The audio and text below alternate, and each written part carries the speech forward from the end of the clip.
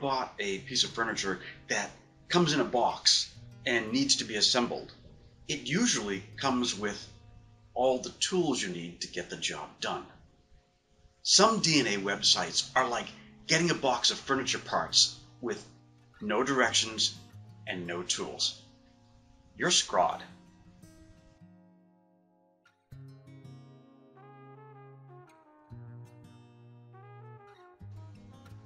Imagine what we could accomplish with genetic genealogy if we had the right tools.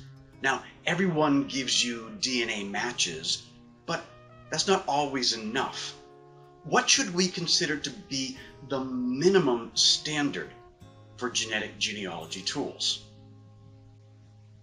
One must have, I want to see the DNA segments that I share with my matches. The DNA segments I share represent ancestors. Everyone except Ancestry provides this feature. Ancestry has the segment info and could present it easily. They need to get off their ass.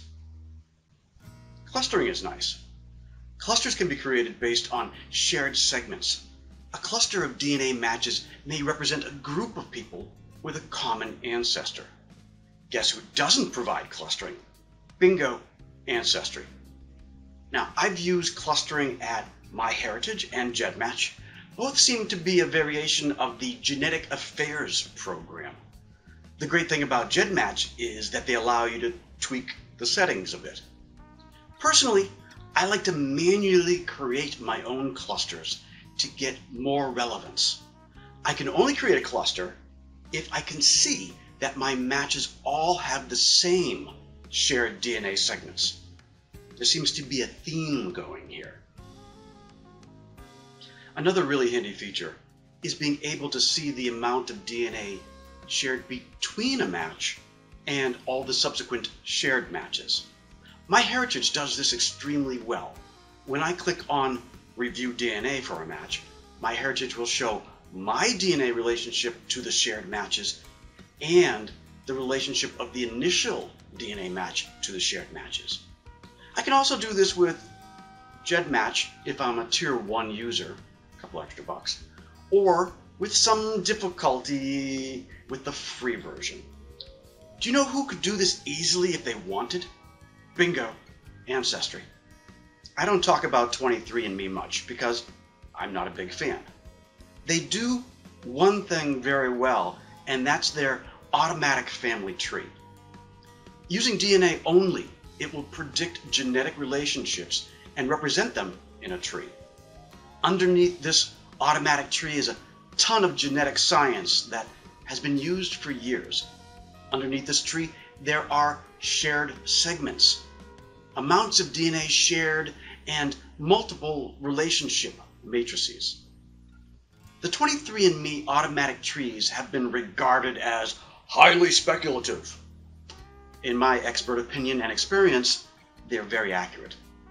A family tree based on paper records alone is much more likely to be highly speculative.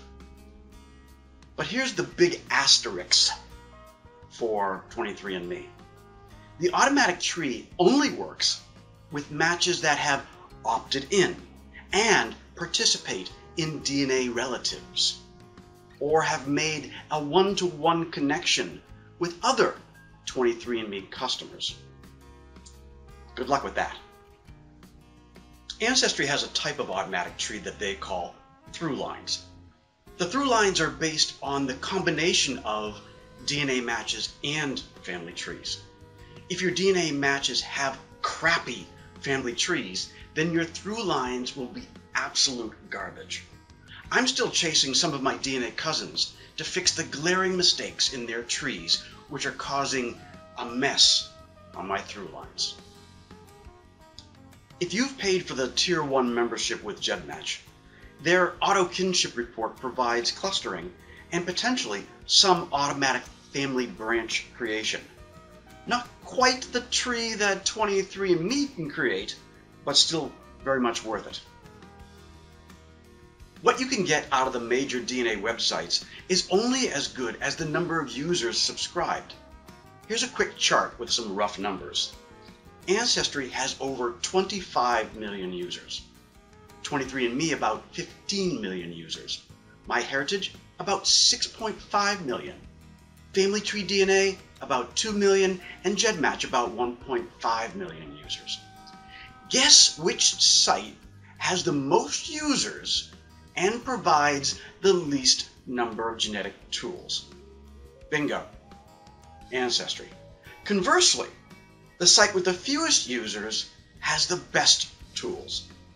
GEDmatch. Now, if I'm trying to get a cluster or a genetic matrix from a site with very few users, well then, it will be garbage in and garbage out. I'm Scrod. When genetic genealogy hands you lemons, write your own programs. So, I wrote an automatic tree branch creation tool back in 2020. In my not so humble opinion, my tool is more accurate than the AutoKinship tool and a lot sexier. Let's look at some examples. First, let's look at some known relationships. I ran the AutoKinship report for myself in GEDmatch. When it was complete, I downloaded the report and reviewed the results in cluster 15, I knew all the relationships and what the actual family tree should look like. AutoKinship produced nine different trees. Here is their tree number two, which is very close to reality. If I didn't know the real tree, then nine different trees would be very confusing. In the GEDmatch one to many, I selected all the same matches as the AutoKinship cluster and produced a generation matrix through the visualization tools. When I submit that matrix into my autosomal branch tool, I get the correct tree right out of the gate. Much more visually appealing, don't you think? The difference between the processes is that AutoKinship is a relationship predictor which is why it came up with nine different tree models. My auto branch tool is a relationship calculator based on genetic algorithms going back to the 1950s. Why should we use a relationship matrix? It's not just to create pretty trees. It's because DNA inheritance is imperfect. Between any two pairs of DNA matches, one person could have inherited too much or too little common DNA, misleading the relationship. By creating a matrix of matches, there's a push pull at every connection that evens out the imbalances of inheritance and presents an accurate web of relationships. Now that we know that the tools work, let's try solving some mysteries. Among my wife's MyHeritage matches is a mystery match named Sandra. The MyHeritage auto cluster didn't include all the users I wanted, so I manually clustered and manually created the relationship matrix.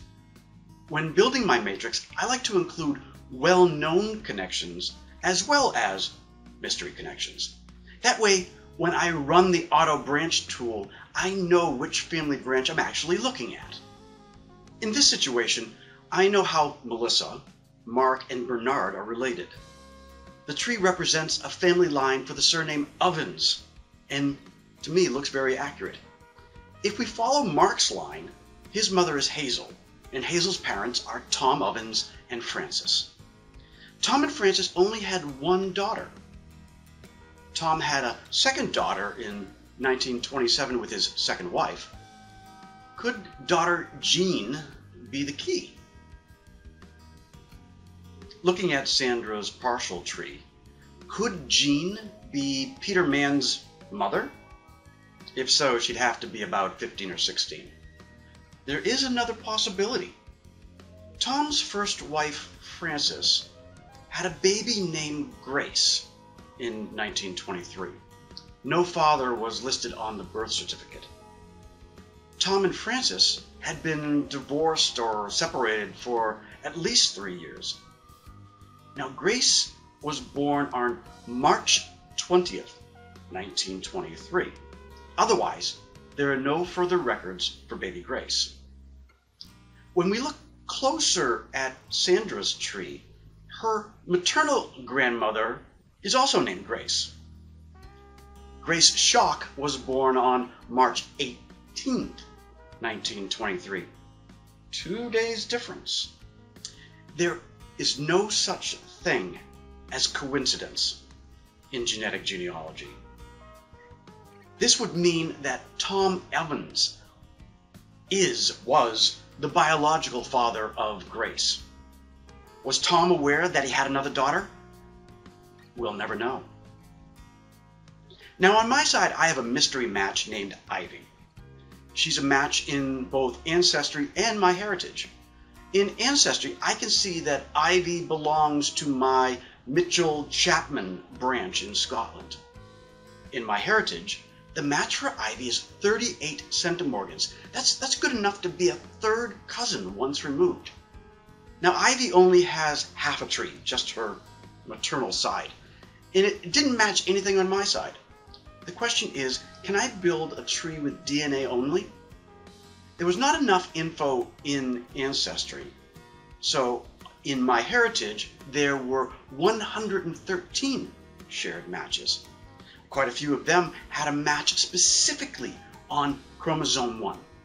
It's nice being able to see the shared segments. That's all I needed to see to put together a relationship matrix. The relationship matrix is just a grid with the names across the top and down one side Ivy, Mike, Ken, Bruce, and Kenneth. Building the matrix myself gives me flexibility the first name in the matrix will be the focus person, and it will create their tree. I fill in the grid with the amount of DNA shared between the pairs in the grid. Once I'm done, I convert the amount of DNA to generations. This is because I want the output to be in generations.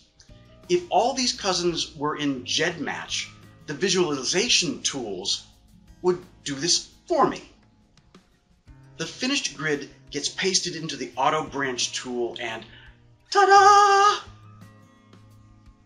Now Ken and Bruce have some great trees and we can see based on the auto branch tool how far back we need to go to look for a common ancestor. In their family trees, I found James Smiles and Mary Arrington. These are names that I've never seen before. How real is the connection to me? Are they really my ancestors also?